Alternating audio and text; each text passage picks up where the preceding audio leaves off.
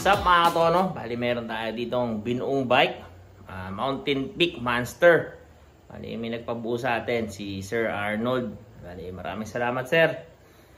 Ah, bali ano to? Mountain Peak Monster bago lahat ng parts niya. ah, sagmit.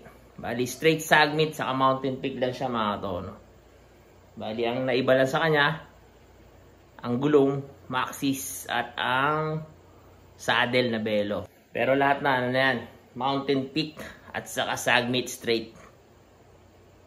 Sa silipin natin, mga katono. Bali mga katono, umpisa tayo sa frame. Mountain Peak Monster. Bali 27.5 ang kanyang sukat. Bali medium siya mga katono, medium size. Bali napili ni customer eh, yung ah, Mountain Peak Monster na frame. Bali itong ah, sa pinaka head tube niya, yan. Sa top tube, sa down tube, yan, nakakonect. Naka-smooth weld na siya. Pati sa kanyang C-tube, yan. Bali ang pinaka sa dropout niya, yan. Semi-smooth na rin. Pwera lang dito talaga sa BB. Ang kagandahan dito kay Mountain Peak Master eh, yung pinakadaan niya ng internal cabling. Hindi ka na nagamit ng mga plastic o goma. Rekta na. Ay, pinaka-cockpit niya, pali segment din yan lahat straight. Pinaka-stem niya yan, kulay red, 80mm yan. Ah, na sagmit. Bago ang kanyang handlebar, sagmit. Yan, red metal. Bali box sweep siya. Ang handlebar niya, ah, nasa 780mm. Balikan natin siya ng sagmit na handle grip. Yan. Bali lakon yan, dalawang side. Bago nilagay natin, may tenga. Parang pang trail. Nakasagmit din siya na hydraulic. Edison 2.0 at yung shifter niya 12 speed Sagmit Edison. Bali yung pinaka-port niya yan. ah, Mountain Peak din. Bali naka manual lockout siya. Yung pinaka lagayan ng air niya. All black siya mga to. No? Bali 27.5, 32mm yan. Bali itong pinaka-travel niya nasa 120. Bali, ang headset niya, yung pinaka-headtube niya, ang headset niya 44 by 44 lang mga to, no? Nilagyan na natin ng spacer, carbon. Para in case na gusto taasan ni customer, na may may-ari, pwede pa. Ang kanyang gulong, Maxis Ardent 27 ah, by 2.25. Ang ating nilagay. Pan-trail. Bagong rim niya, 27.5 na 32mm din. Gawa ni Sagmit. Sagmit Legend. Lagay natin rotor dyan. Yan. Sagmit din yan. Oil slick. Para kahit pa paano may katerno to. Yan. Oil slick kasi yung pinaka yan, yung pinaka-lock niya. Yung tornilyo niya dito sa may hydraulic sa master. Pinaka-caliper niyan. Bali, meron siyang heat pins. Itong trabaho na to para hindi mag-overheat eh. Yaring ginagamit mo pang lus yung sa lusong. Para kahit promeno ng promeno ka, yung init, ma-absorb nito. Parang yung sa Jore. Itong daanan lang ni Mountain Peak Master sa hydro niya, nasa labas pa rin. Yan. Bago ito yung sa kanyang speed sa RDL. Bali, ang hub na ginamit natin sa kanya, Sagmit M120, 6 poles, 3 teeth na hub. Tapos yung cogs niya, yung likod, yung pinaka-spider niya, alloy. Edison din yan, Sagmit. Yan, pinaka-seat post niya, bali 31.6 yan, sukat yan. Bali, gawa rin ni Sagmit, bago ang model niya yan. Ano yung pinaka-model niya? Ranger, Gawa yung sagmit. Naka ano na yan, naka double lock yan. Bagong upuan niya, Velo Plus. Malambot yan mga tono. Sarap niyan. Ang pedal niya yan, Mountain Peak. Bali naka triple bearing na yan. Kaya smooth na smooth yan. No? Grabe yan. Napakalambot. Napakadulas. Ay, mga studs niya, yan. Adjustable, pwedeng tanggalin. Bago ang pinaka crank niya, Sagmit Edison S12. Yan. Turn rito. Para parang isang group set na sa match. Sabagay, halos group set na yan eh. Kasi halos pati hydraulic niya eh. Sagmit na rin. Bali ito 36 teeth. Ayan naka-center lock. Alloy pinaka ano niyan. Pinaka chain ring. Ang pinaka chain niya YBN kasama sa upkit ni Sagmit Edison. Bago ito yung pinaka cogs niya. 12 speed, 11 by 50 teeth.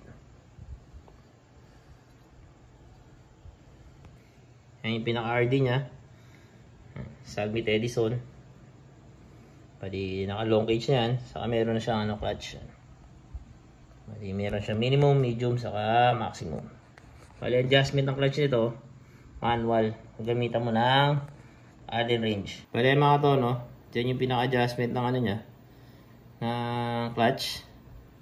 Ah, manual siya, naka-Allen para pwede mong patigasan palalo yung pinaka spring niya para yung tension nito mas tumigas pero itong medium okay na eh saka okay na rin shifting niya eh pag nasa medium kasi pag, nilip, pag nilipat mo ng maximum yan hindi na magiging ano, smooth shifting bali may talon-talon yan kapag tumigas kahit yung sa Jore ganun din pag inan mo yung clutch ang cambio niya pinaka shifting bali may delay sa kami talon kasi tumitigas to eh.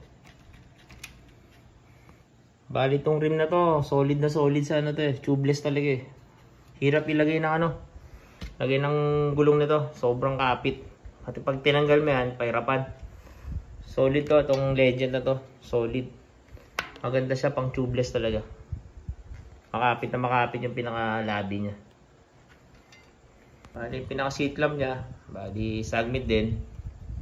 Nilagyan ko na lang nitong silver para kahit paano bumagay sa ibang ano uh, sa ibang decals niya. Yan, katulad nito. Gray, silver gray, saka to. Sa rim. Para to meron kahit paano. May contrast. Pati rim niya, no? Pambaragan yan. Lapad yan mga tono. Pwede yan sa mga jumps. Pati itong port niya yan. Naka 120 na yan eh. Para kahit medyo mataas ang jump mo, hindi ka basta-basta babaon may to. Ayan. Pedal mo, yung crank, goods lahat. So, ay mga to, no? testing natin shifting niya.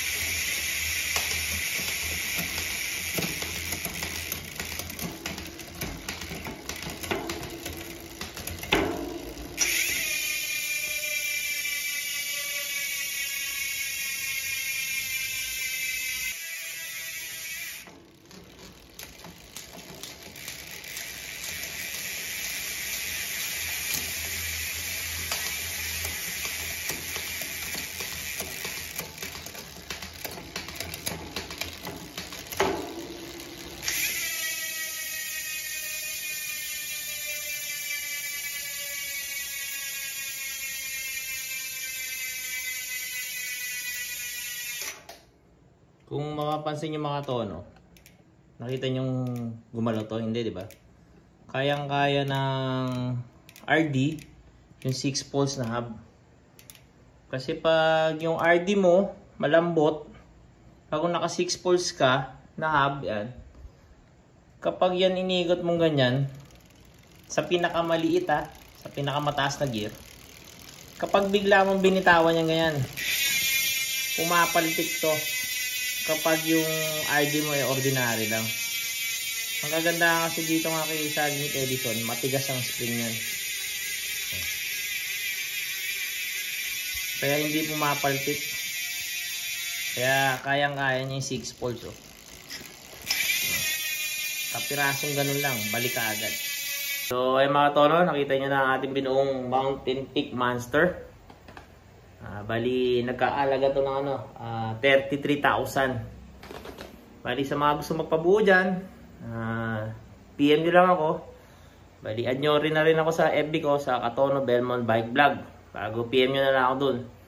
Bali usap na lang tayo kung magkano budget nyo. Yan. Ah, comment na lang kung sulit ba ang presyo o mahal. Ah, comment down below na lang mga katono. So, yan mga katono. Sana nagustuhan nyo. So, ride safe. Peace out.